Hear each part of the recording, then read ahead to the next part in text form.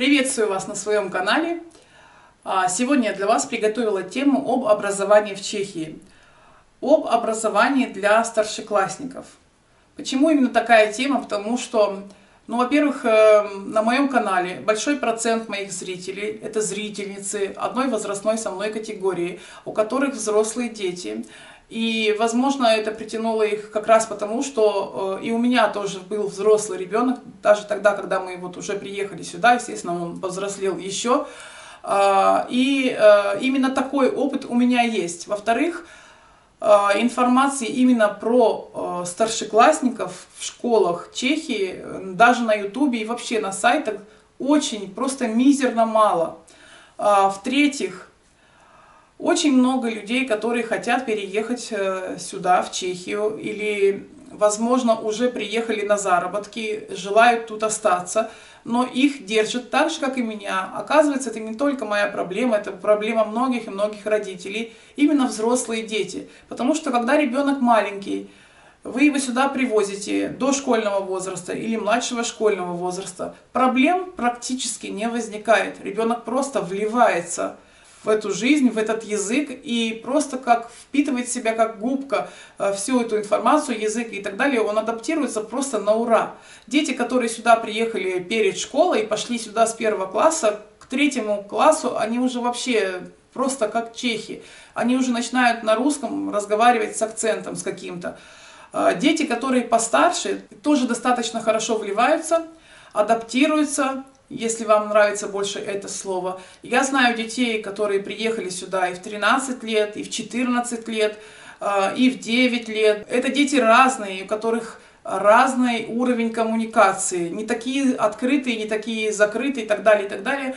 Но все они благополучно адаптировались. Все они благополучно разговаривают на чешском языке уже через несколько месяцев. И очень часто эти дети в своем стремлении, не в стремлении, а прилежании и учебе, они э, превосходят даже коренных жителей, потому что из-за незнания языка у них э, потребность в обучении гораздо выше возникает, и они учатся гораздо прилежнее, чем те, кто здесь родился и вырос. Так что, если с младшими детьми более-не-менее все понятно, там возникали вопросы по поводу питания, по поводу того, что нужно в школу, по поводу э, какой-то сменной обуви даже возникали вопросы.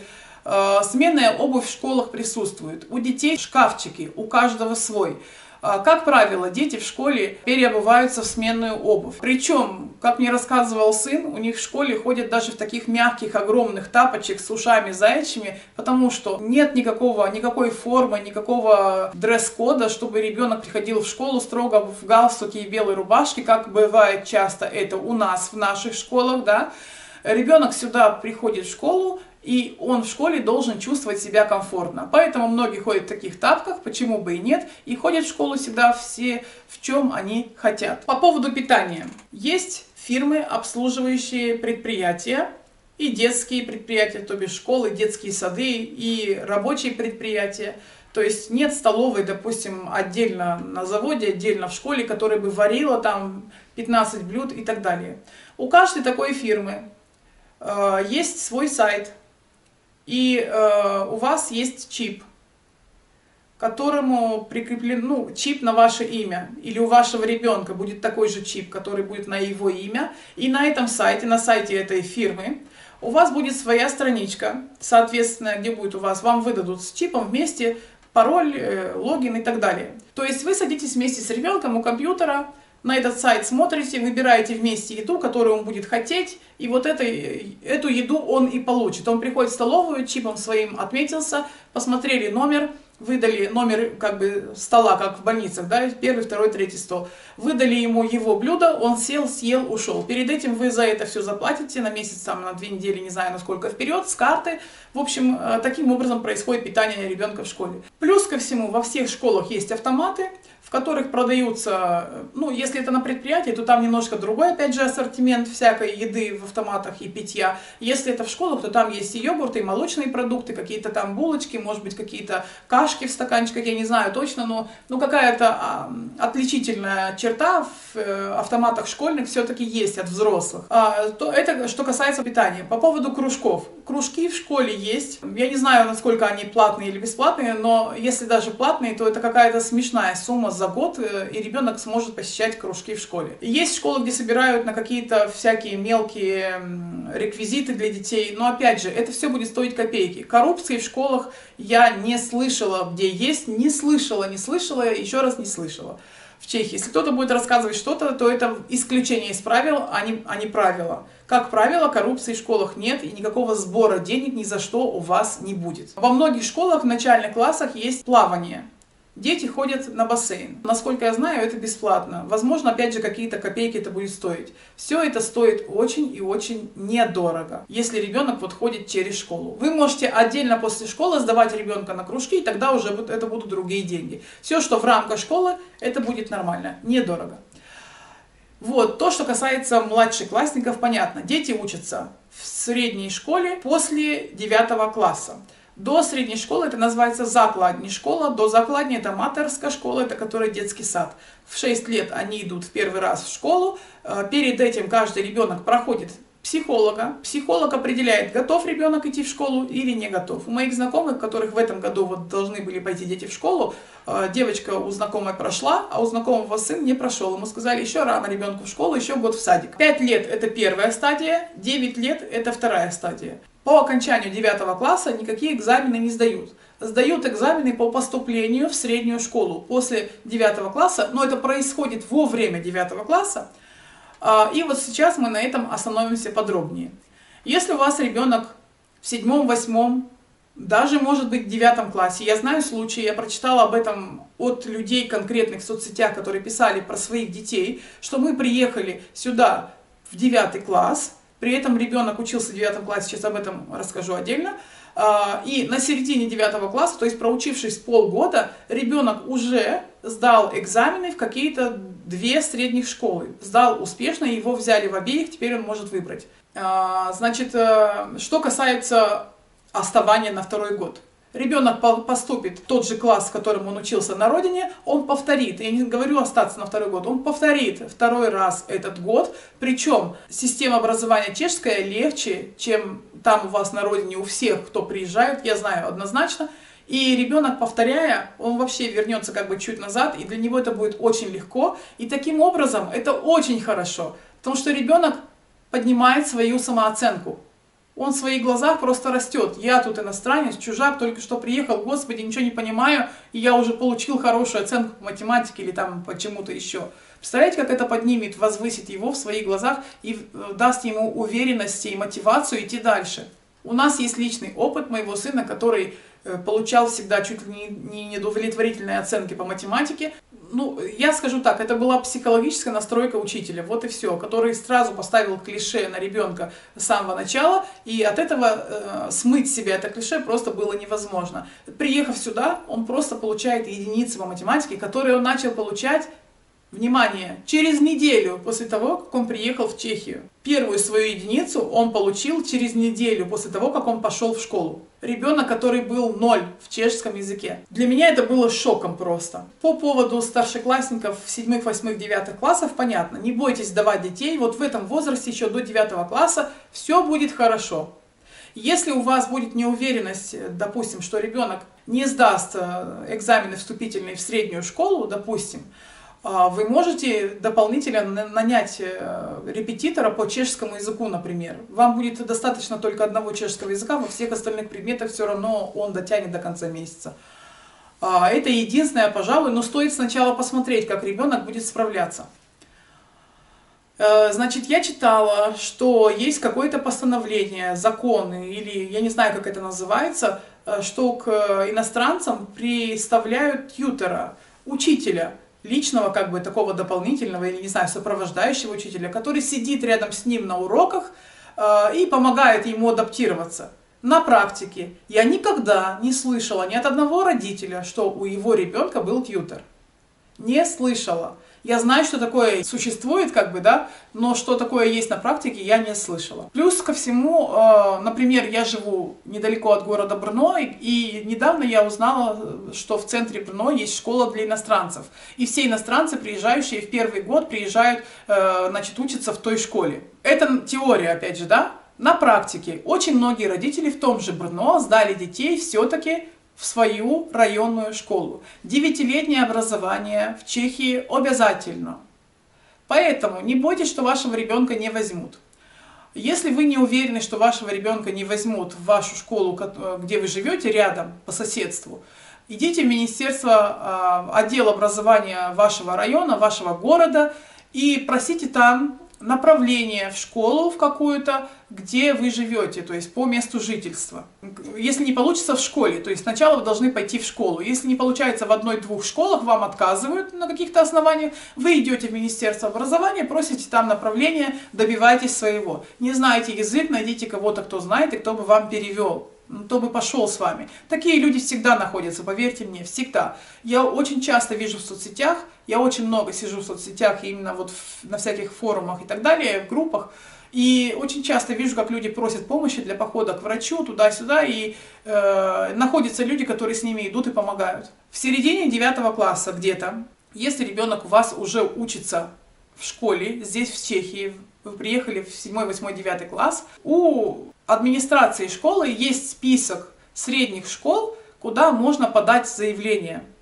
И со сроками, естественно, когда это можно сделать. У каждой школы свои сроки. В начале учебного года, где-то в октябре-ноябре, проходят дни открытых дверей. В середине учебного года, после Нового года уже как бы, да, во второй половине, проходит э, прием заявлений в эти школы, и уже где-то весной, там март-апрель, проходят экзамены вступительные в эти школы. Вы можете выбрать себе две школы и подать э, туда заявление и сдать экзамены там и там по очереди. Потом, если в одной школе вас не возьмут, значит возьмут другой. Я не знаю, если можно больше, чем в две, но в две можно точно. И, соответственно, значит, обучаться уже в той школе, в которую вас приняли. Если примут в обе, естественно, у вас есть право выбора. Ну, понятно, если вы приехали раньше и успели закончить тут девятый класс, то, э, значит, э, вы поступите уже в среднюю школу в течение вот этого девятого класса. Если же вы приехали после 10 класса, то вы, получается, как раз этот 10 класс будете повторять. Это начало средней школы. И вы приехали, допустим, вот мы приехали летом. Куда нам деваться? Есть э, сайт, называется средние школы.cz. Я оставляю ссылку под видео, как всегда, все ссылки будут под видео, куда вы можете зайти. Итак, мы с вами сейчас находимся на сайте, который называется средней школы.cz. Здесь вы можете выбрать среднюю школу для вашего ребенка, если вы приехали после 10 класса. То есть, если вам придется все-таки повторять 10 класс, а вам придется, а, как раз на этом сайте вы можете подобрать школу, которая находится недалеко от того места, где вы живете. Если вам все равно, вы, вы ищете где-то в большом городе, то, в принципе, на здоровье. Многие средние школы предоставляют детям возможность проживания. Вот так выглядит сайт. Если вы э, хотите, можете почитать какую-то информацию, хотя здесь, в принципе, все э, на чешском языке. Я думаю, что если вы только приехали недавно, то, в принципе, чешский язык еще для вас немножко сложно э, читать. И э, вы можете, в принципе, даже пере, перевести страничку на русский язык, нажав правой кнопкой на страничку. Думаю, что это все знают, надеюсь. Итак, вы можете выбрать себе школу либо по, подле региону, это по месту жительства, либо по э, специальности, которую вы хотите получить. В принципе, можно и так. Давайте посмотрим. Вам э, выдают э, все равно все области, которые есть. И здесь внизу список всех специальностей, которые предоставляют школы. Давайте посмотрим. Кухарш, чишник – это повар-официант информационные технологии, а, Стройный механик это на заводах, например, да, удржба, кто чинит машины. Как это называется по-русски, я все-таки не знаю. Готельництве – это гостиничный бизнес, комбинированный еще с чем-то есть. А, гастрономия – это а, что-то связанное с гастрономией, соответственно. Подникани – это бизнес. Цукраш – это кондитер – Полиграфический промысл – это что-то связано с типографиями. Здесь вы можете себе выбрать специальность, которую хотите. Смотрите, больше, чем 10 страниц. Тут достаточно специальностей, чтобы найти свою, а, которую вы хотите. Вот, если у вас еще нет выбора такого большого, я вам скажу, что э, в вашем случае, если ребенок приехал без знания чешского языка, вообще поэтому смотреть, наверное, не стоит, но это, если хотите, вы можете посмотреть, почему нет, то мы выбираем здесь э, средней школы в вашем регионе. Берем, например, э, Либерецкий край, вдруг вы живете в Либерце или в каком-то городе Либерецкого края, а, здесь э, есть четыре города, которые являются райцентрами. И вот нажав на Ческую Липу, например, мы выбираем список школ, вернее, видим список школ, которые есть в этом районе. Это не значит, что все они э, в Либерце находятся прямо, вернее, даже в этой Ческой Липе. Здесь есть Новый Бор, э, ну, в основном, в основном все, вот еще какой Мимонь, в основном все находятся в Ческой Липе, например, да. То есть поблизости вы можете выбрать вот таким образом школу. Теперь смотрим, смотрите. Есть э, средний отборная школа. Я не знаю, сказала я уже это или нет, но э, есть промысловая школа, средний промысловая школа. Э, промысловка – это ПТУ, там учат, как правило, таким рабочим специальностям. Средняя отборная школа – это уже как техникум или колледж. Там и там выдают, э, можно сдать экзамен выпускной матуриту. То есть это как ЕГЭ в России, э, в Украине я, к сожалению, несколько раз читала, но так и не запомнила. Тоже есть э, какой-то выпускной экзамен, тоже он как-то называется тремя буквами. Э, в принципе, тремя буквами называются экзамены везде. И у нас в Молдавии это БАК в конце школы, да, дети сдают выпускные экзамены. Давайте нажмем на промысловку и посмотрим, что там есть. Информачные технологии, строительстве, электротехника. Ну, такие вот специальности, да, здесь можно получить за 4 года. А сколько стоит, не пишут. Но потому что это и школа, насколько я поняла, не частная. То есть мы с вами смотрим, школа какого типа здесь есть, средняя школа, есть гимназиум, но гимназиум, сразу вам скажу, ребенок не поступит в гимназиум, потому что, как правило, там э, будут требовать сразу чешский язык, и для того, чтобы не очень-то требовали чешский язык, выбирайте еще школу частную. Смотрите, внизу написано «Вежейна школа» — это общественная школа, то есть э, государственная. Соукрома школа – это значит частная. Так вот, мы смотрим соукромки. Так, открываем новые вкладки и смотрим. Еврошкола Чешская Липа, средний отборная школа. А, это колледж частный. Здесь э, вы можете посмотреть, Выгоды школы – это пряники, которые есть в этой школе. Э, школе. Адаптачные курсы – это очень хорошо для тех, кто уже в Чехии отучился 9 лет, 9 класс кто закончил. Да? А, вы можете э, помимо учебы поступить на подготовительные курсы в этой школе и подготовиться к вступительным экзаменам. Почему бы и нет? Также здесь еще много всяких разных плюшек, все это можно прочитать. А, как правило, а, частные школы выдают такие списки всяких э, да, разных возможностей, что есть в этой школе, гораздо больше, чем в государственных школах. А, языки, которые здесь учат, э, Еврошкола Ческа Липа, что это за школа, описание – Пшимачки наночисто. Что такое наночисто?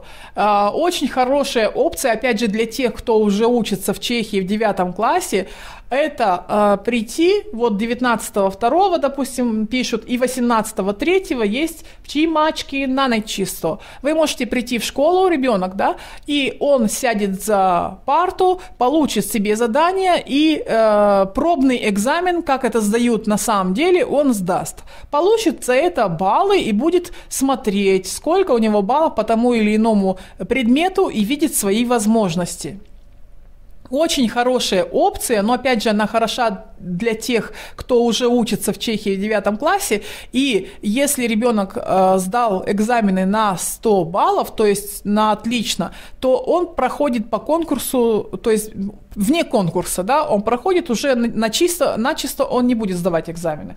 Отличная просто опция, мне кажется. И также здесь вы можете посмотреть, э, что представляет собой школа, чем она оснащена, чем тут питаются и как живут. Я же говорила, что школы, как правило, фактически все, э, это уже как бы училище получается, да, поэтому они предоставляют своим студентам жилье. А, так, даже пишут, сколько девушек и парней в этой школе, что очень интересно. Вот здесь эта школа частная, поэтому сразу указана годичная цена. Посмотрите, некоторые школы пишут школу, пишут цену за месяц. А, соответственно, возможно, там можно ежемесячно платить. Вот я видела одну школу, там было написано 1700 крон в месяц. Почему бы и нет?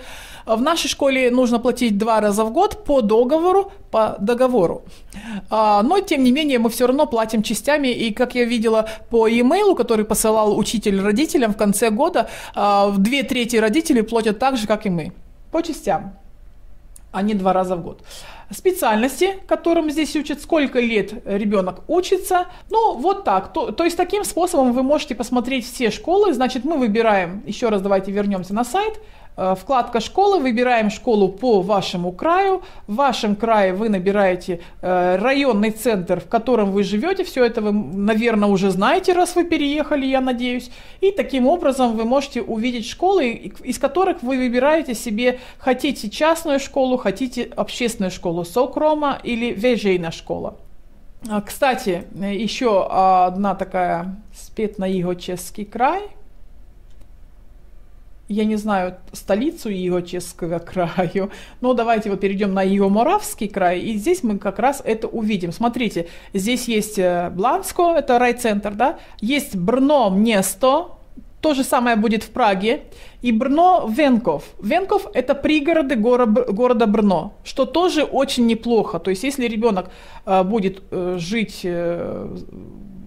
в Брно, да, допустим, если вы живете, то вы можете ребенка отправить учиться, это примерно максимально 30 километров, 20 с чем-то я смотрю, так, на мой взгляд, а, где ребенок может э, учиться в различных учебных заведениях, э, потому что транспорт ходит просто отлично, особенно э, в утренние часы. И вот когда ребенок заканчивает школу, студенты очень многие туда-сюда ездят на поездах, это очень удобно. Просто до здесь у нас Доправа и выборна, как говорят чехи, отлично все работает.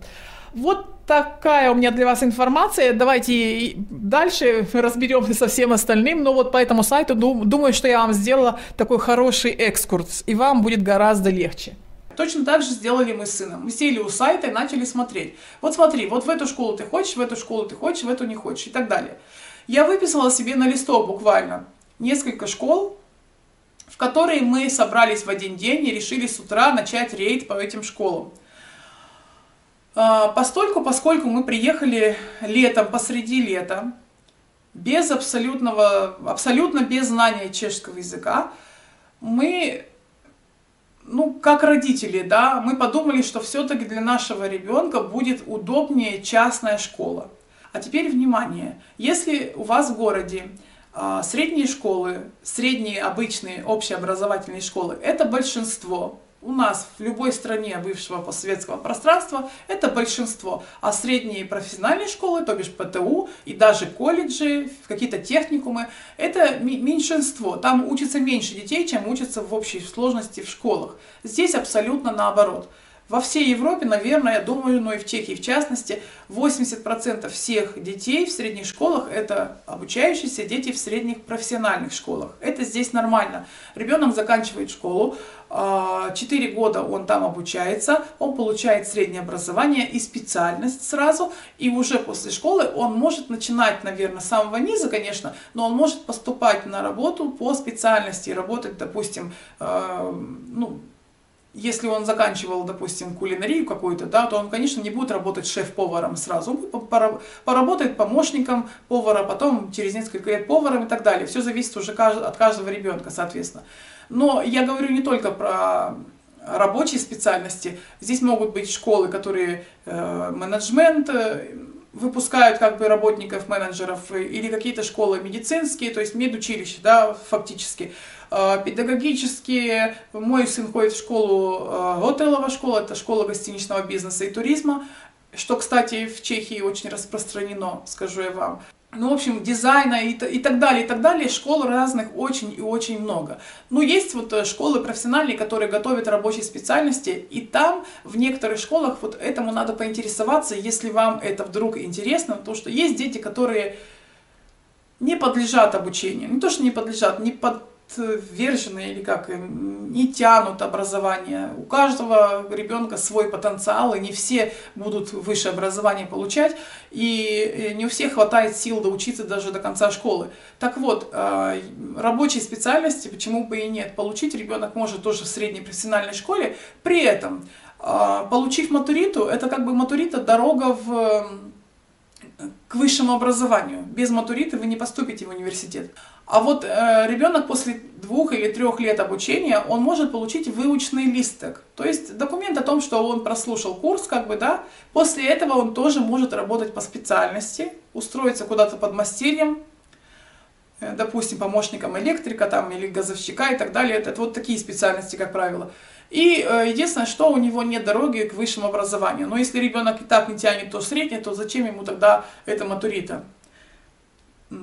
Это то, что касается вот средних профессиональных школ.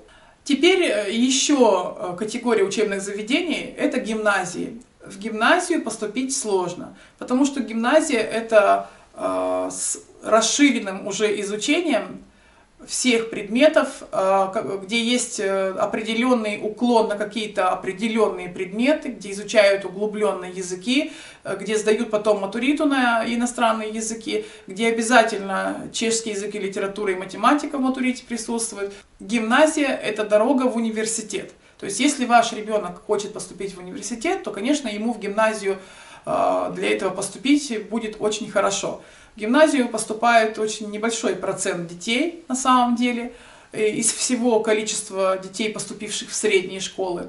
И я думаю, что, наверное, в большинстве случаев иностранцы, которые приехали уже учиться в старшие классы, в гимназию не попадут.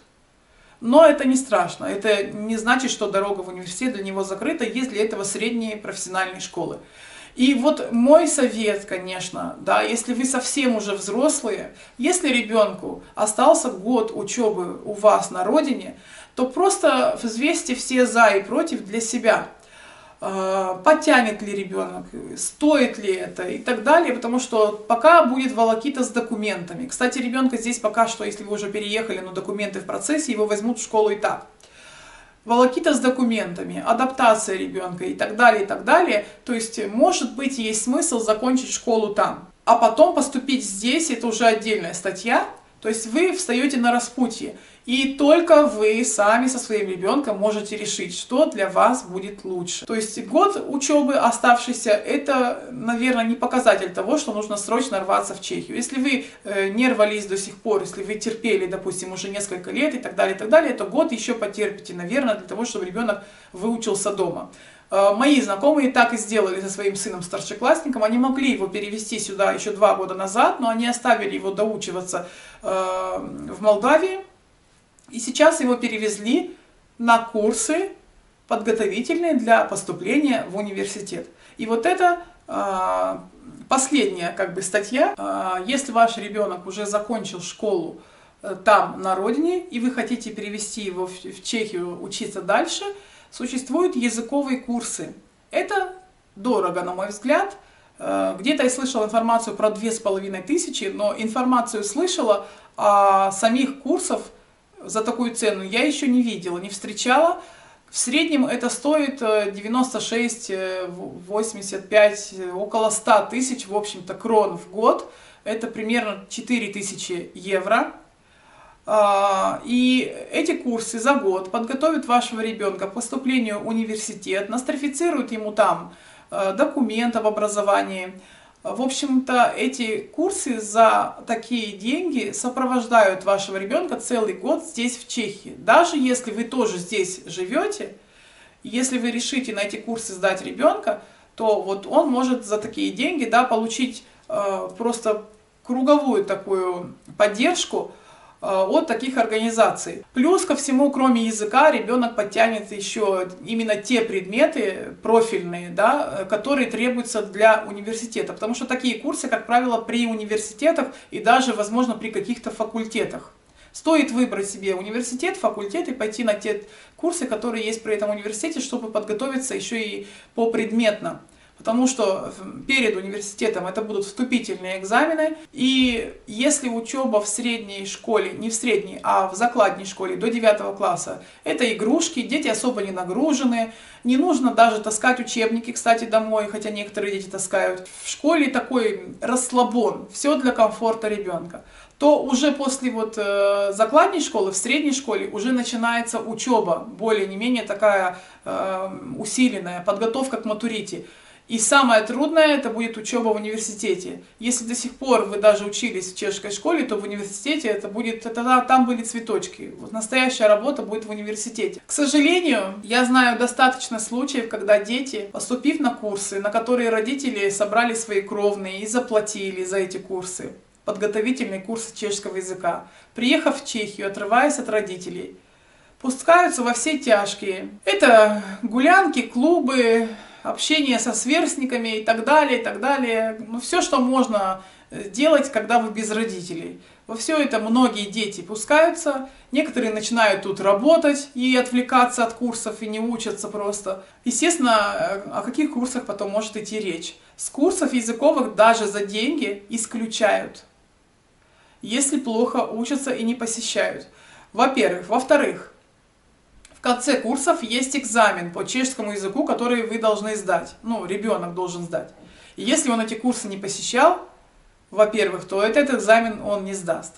Во-вторых, есть дети, которые, я не знаю почему, учились хорошо, нормально в школе дома, вдруг приехали в Чехию, учили язык, но почему-то экзамен тоже не сдают. Это риск такой, да, и это все зависит от вашего ребенка и от вашей мотивации этому ребенку, да, если вы ему будете помогать настраивать его все время, что э, вот деньги заплачены, учись, пожалуйста, дорогой, да, э, и плюс контролировать э, каким-то образом процесс, возможно, даже курсом, может быть, еще понадобился бы какой-то учитель дополнительный.